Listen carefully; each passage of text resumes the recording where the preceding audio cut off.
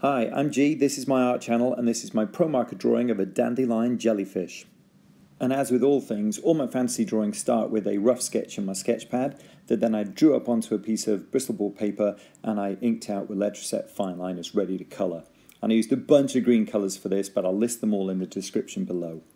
So I started with a couple of small parts of the tentacles just to make sure all the colours were going to work all right.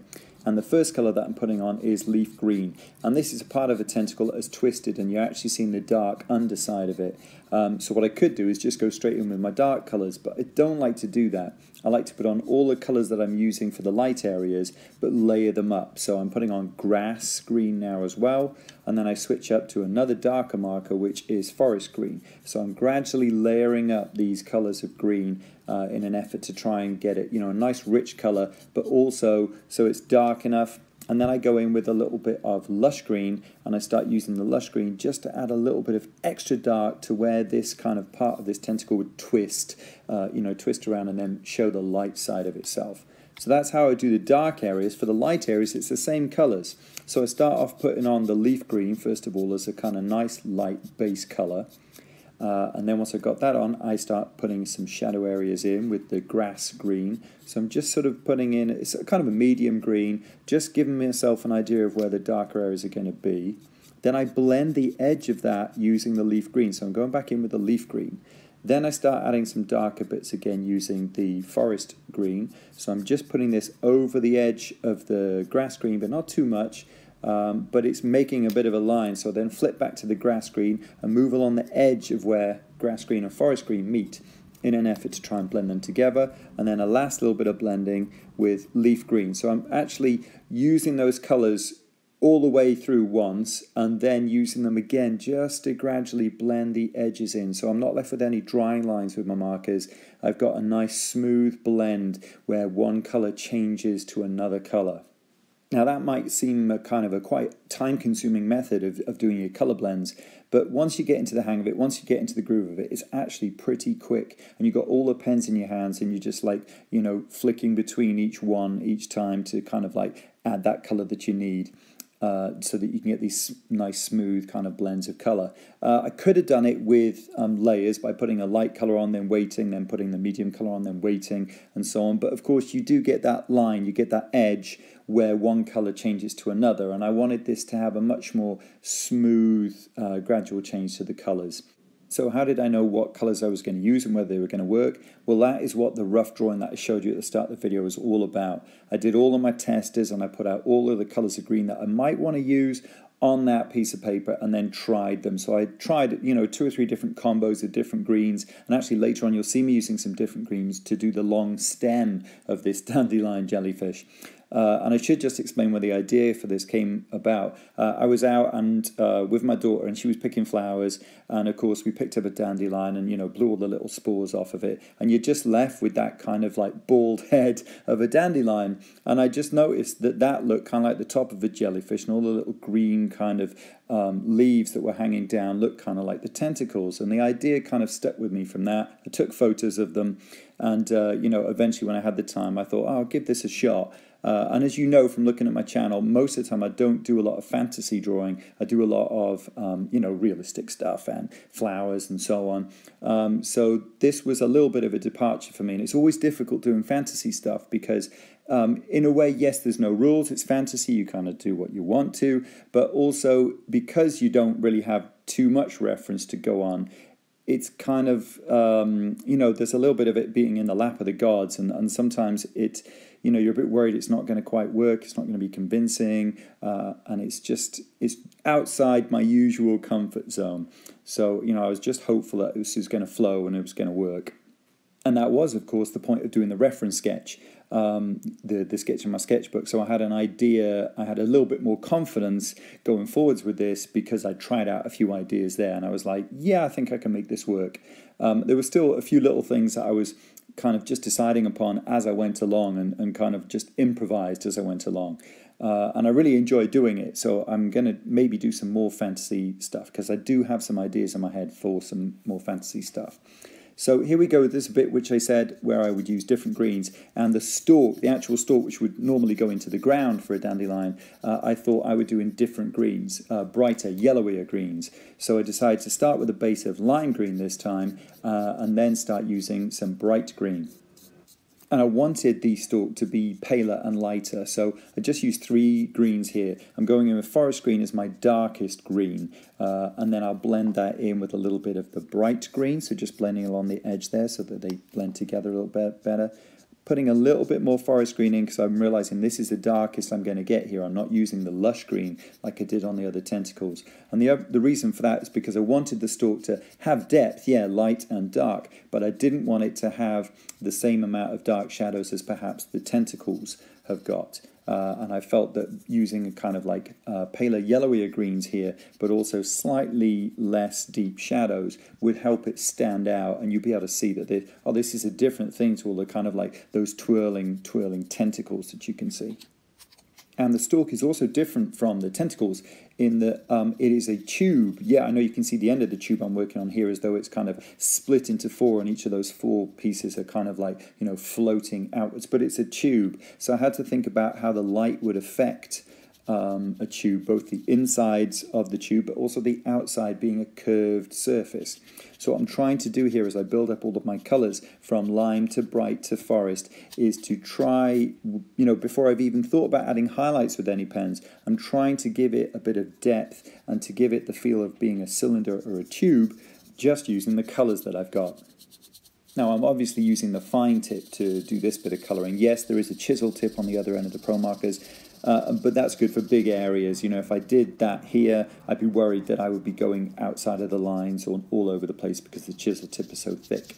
So here I am, I'm moving upwards using a bright green now on top of the line and as I get towards this top bit, I, I suddenly move and curve across. So I've left a little light bit as I was going up, but as I curve up and go across with the forest green here, what I'm hoping to show there is that the changing of light, that the light hitting the top of this tube here, but as it then curves around, there's a bit of shadow and then the light hits it as it starts to curve down and around. That's what I was hoping to achieve with the way that I've colored that. Um, like I said, I wanted to try and achieve that before I even thought about adding anything like you know white Gelly Roll or white Posca pen later. These three colours, lime bright and forest green, were really, really good combination of colours. And I got to admit, as I was doing this and, and finishing off the stalk and the, the stem, I started to think, oh, maybe I should have used these to do all of the tentacles with as well because it's such a lovely bright green. But you know, I was good with the fact that I had a kind of contrast between a kind of a paler green and this a much warmer yellowy green. So with pretty much all the tentacles done, I could turn my attentions to the the body, the head of the jellyfish. Not quite sure, but anyway, when you look down through the top of the jellyfish and it's see-through, you can usually see this kind of like ring pattern on the top of it. And I wanted my dandelion jellyfish to have that. So I decided what I would do in the center of each of those rings, because it would be pale, would start with an even paler green, meadow green, and then put a little bit of leaf green in the middle, and then just gently blend it in. So that's what I did for the kind of like centers. Then I decided to use exactly the same colors to actually do the body or the head. Uh, so I started off with a base of meadow green and then put leaf green on top of that and then I decided that I would blend a little bit of that in and then start using the grass green. So I'm already on my third color now as you can see me working down before I get to now forest green. So it's gradually getting darker and darker and darker towards the base and I'm going to finish it off with a bit of lush green just very very finally. And the idea is that this head or body of the jellyfish is going to be the light source. It's going to be almost glowing. So I wanted it to kind of go from light to dark. So once I'd rubbed out those pencil lines and you can, you know, get a feel for those rings and that glowing body, I just then did a few little bits of shadow across stalks and tentacles before I started putting the background in.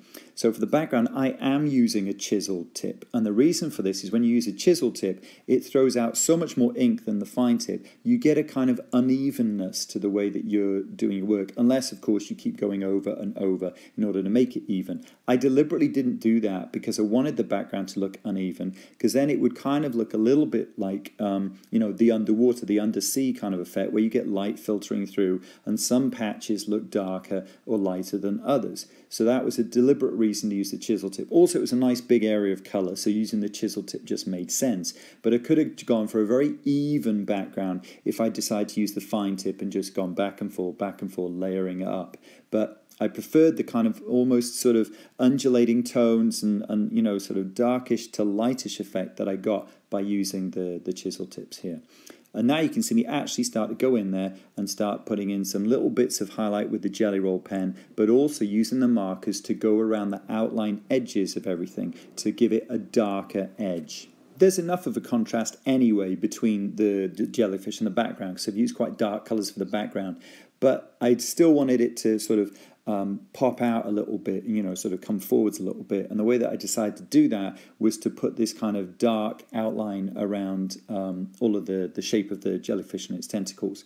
And pretty much all I did was take the color of the background that I'd already used and just do an outline edge around everything with that same color. So it was basically layering up the same color twice in order to achieve uh, a kind of a dark line. And then I would start adding my um, highlighter pen using Gelly Roll. I mean, you've always seen me put a couple of little bits in because I do work in a slightly haphazard kind of way sometimes, and I, I, my focus goes a bit strange and my concentration goes, and I start you know going oh you know flip back between a bit of fine liner and a little bit of marker and stuff. So mm, yeah, I don't work always in a, a structured a way as perhaps I should, but here you can see me going in now. I've done all my outlines and I'm beginning to put in um, highlighter areas. So choosing that, that jellyfish's body or head as the light source and then deciding to go right if that's a light source where would the light where would there be shiny highlights on this jellyfish? And that's what you can see me doing with the Gelly Roll pen going in and putting those white areas now